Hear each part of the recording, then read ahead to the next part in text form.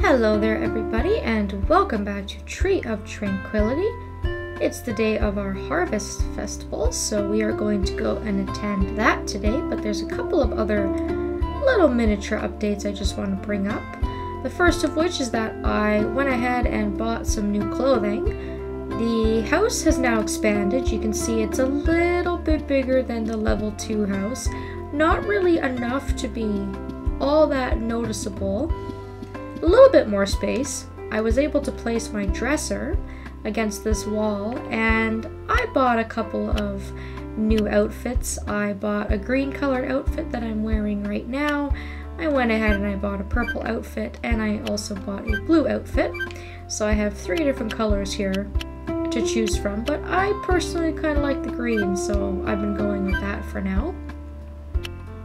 I also put on the brooch that I bought from the art festival, and I think I'm gonna bust out the wool hat come winter time.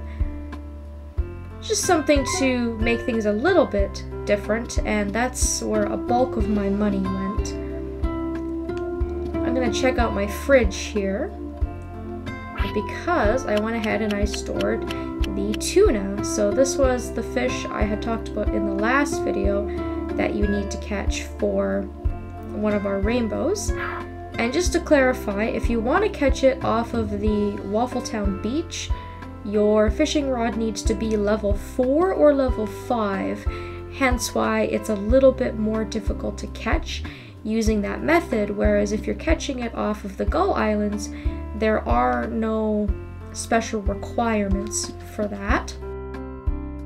And I'm just going to go into my fish list here and just to look at its entry you can see here that I was correct and we cannot catch this in summer. But you can catch this in every other season and you can see there that both of the locations are listed.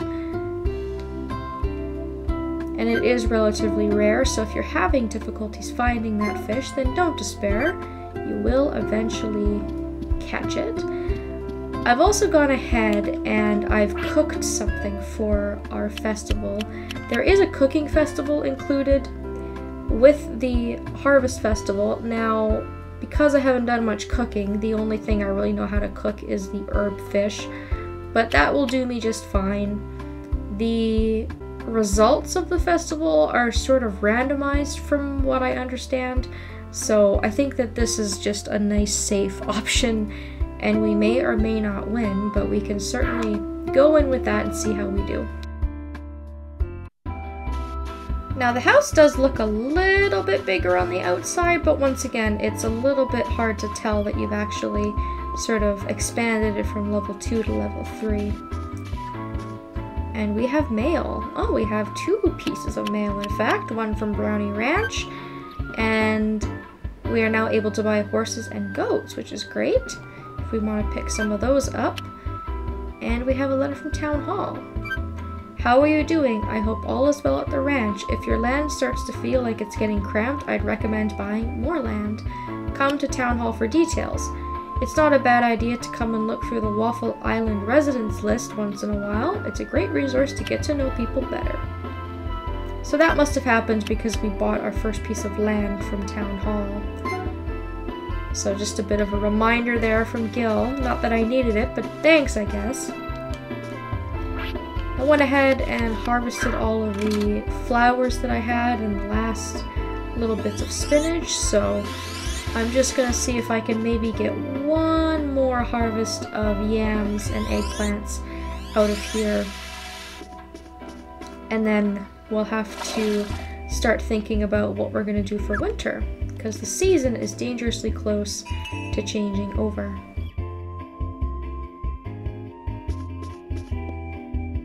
The other thing that happened is that I managed to befriend the adult bear that was blocking the way to the Harvest Goddess Pond.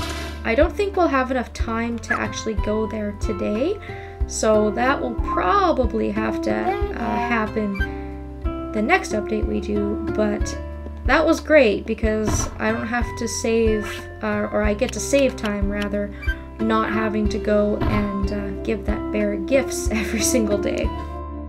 And I honestly didn't keep track of how many days I had spent giving the bear gifts, but I would say probably about a week I gave it two gifts per day. And uh, it moved, and I now have access to that new area. But I didn't go there because I didn't want to trigger the cutscene and have you guys miss that. So we'll definitely do that when we have time. Again, not sure if we'll have time today, but if we do, we'll certainly go do that. And if not, then we will definitely save it for another time. So moving on to our other field here, as you can see, I've sort of cleaned it up a little bit and I planted what trees I had purchased. I had just kind of purchased one of each and I think I'll still have space to plant maybe two or three more trees up in this area.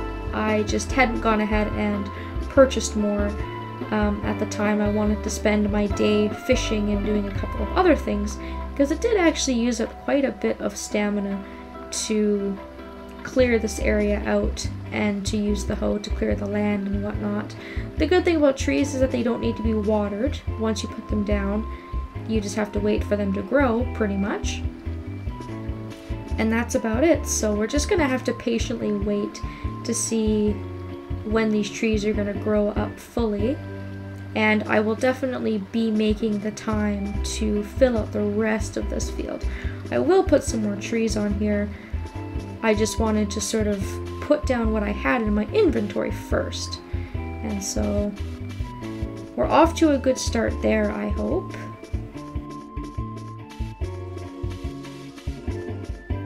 The festival has started by now. So I'll go ahead and walk around and over to Brownie Ranch, which is where the festival takes place. And as usual, I'm going to hope, probably in vain, that there's going to be some people around the festival to talk to. So it's sort of like the animal festival that uh, takes place in the same area here in the central part of Brownie Ranch up near where the barn and the coop and stuff are. Ah, Dr. Jin entered Herb Fish too. Darn. Well, we're in competition now, aren't we? So obviously this festival is all about honoring all of the fruits and vegetables that we can get from farming. Just, it's, I guess it'd kind of be like a Thanksgiving, maybe equivalent, uh, that I can sort of think about. We can talk to Ruth here if we want to play our mini game for this festival. But once again, we're going to pass on that. We'll just have a chat with everybody that's here.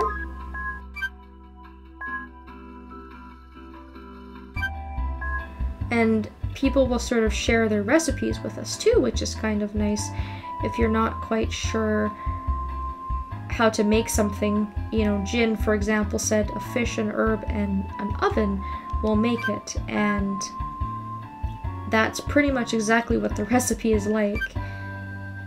It looks like everyone's sort of interested in this cooking contest. Uh, lots of people have entered, it looks like. So we're definitely in for some competition. From what I understand, uh, Maya can't cook though, so maybe we're not having to worry too much about her. So Craig has a recipe for us too. Put cabbage in the aging pot and let it pickle, and that's it. It's so easy, even slackers can do it. Oh, thanks Craig, I appreciate it. And it looks like he's selling stuff at today's festival. Alright, what do you got? He has fertilizer. He has buckwheat, uh, which we can purchase in advance if we'd like, so that we can grow it next season. But you don't have to do that because you can buy this from Ruth. We have green bell seeds, which we can buy here if we want to so that we can grow these in winter. And we also have yellow herb seeds. And it looks like he has a variety of different fruits and vegetables for us. Just for fun, it might be a good idea to maybe grow some herb uh, seeds. I know I've said in the past that it seems kind of pointless to grow them, and a part of me kind of still feels that way.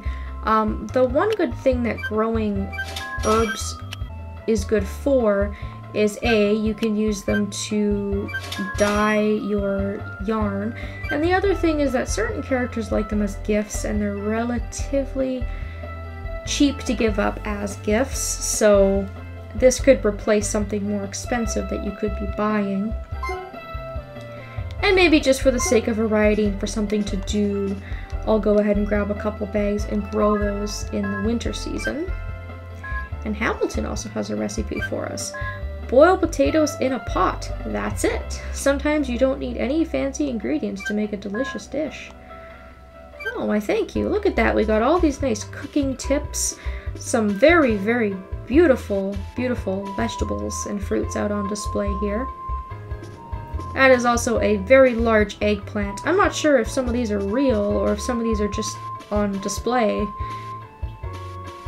But it's, it makes for a very, very impressive show for sure.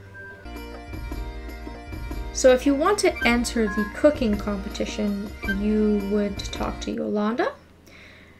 And I think we have to actually talk to her while we are holding the items, so let's just go ahead and enter our dish. It can't hurt. So you'll give her the item, she'll confirm with you. And then we have to wait until about 5 o'clock for the results to be announced. Since we were late getting here, we don't actually have a long time to wait, which is great. Other than that, there really is not a whole lot to do, unfortunately.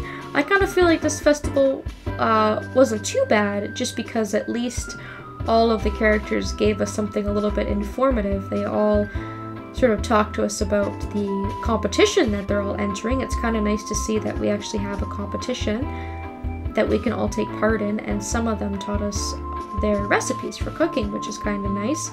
We have the usual mini game that we can enter. Oh, it looks like Ellie's here too. I wonder if she entered. We know she likes to bake. Maybe not cooking, I don't know, but it's interesting that she showed up kind of late. So if you just stay on this screen when 5 o'clock rolls around, you'll automatically be brought to the judging of the cooking contest. So if you want to walk around and talk with some of the animals or collect herbs or whatever it is you want to do, then you can do that without having to worry about missing the judging of the contest. And like I said, from what I've been able to gather, the contest is completely random you can enter the contest with a failed dish and still win. So I really don't know what determines who wins, but all we can do is just hope that it turns out well and we win. And I guess we're about to find out, so let's see.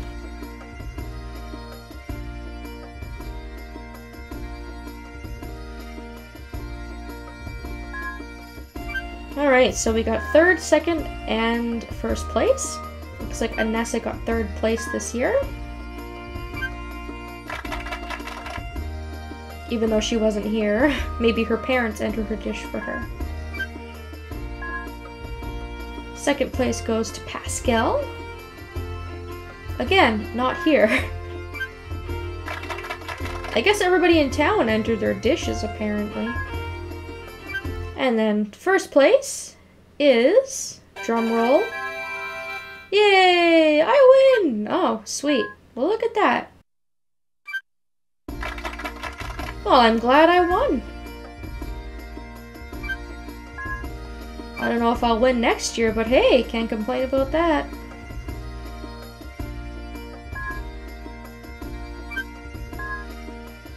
Now, I've only ever lost not entered or won first place.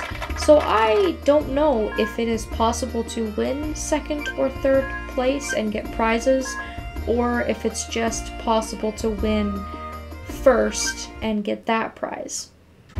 But if you do win, make sure that you go back and you speak to Hamilton. For whatever stupid reason, the festival will end and it'll kick you out of the screen and you'll have to actually return to the Brownie Ranch district here and you'll have to find Hamilton and track him down to claim your prize. I really do not understand why they wouldn't have just given it to you when you won. So by talking to Hamilton, we get 10 Bravo drinks. Now, I'm not entirely sure why they are called Bravo drinks, because that's not what they're called in-game if you look in your inventory. We actually get 10 bottles of Bodigizer, which is great. This is a really, really good prize that we can store in our fridge or our toolbox. And that will definitely come in handy if we were planning on doing some mining or we were off far away from the island and we wanted to do some fishing or really anything that's going to take up a lot of our energy. Those drinks will fix us up quick and fast. So now that we have that, I'll go and store those and hopefully use them later on when I need them. And aside from the cooking contest and socializing and whatnot, I haven't been able to find if there's anything else that we can do at the Harvest Festival or not, but I'm gonna guess no. Didn't use up any stamina again today. I hate just leaving an entirely full stamina bar, but what do you do? We definitely have to take days out to just have some fun. Let our farmer have a little bit of rest. I'm sure she's tired of working all the time. So go ahead and let the animals in before I forget. I'll store my drinks in the fridge. And I guess I can also put these seeds away for now because I don't need them until winter. And that is pretty much gonna do it for today. We only have a few more days left in fall, not entirely sure when I'm going to do another update, but hopefully before we have to say goodbye to the fall season and transition into wintertime. Hope you guys have had fun at the festival, and hopefully I will see you all next time.